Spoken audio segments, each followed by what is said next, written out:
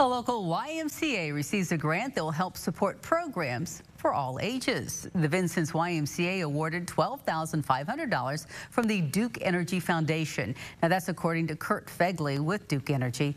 The money going to be used to support programs for all age groups, including after-school programs and summer camps for children.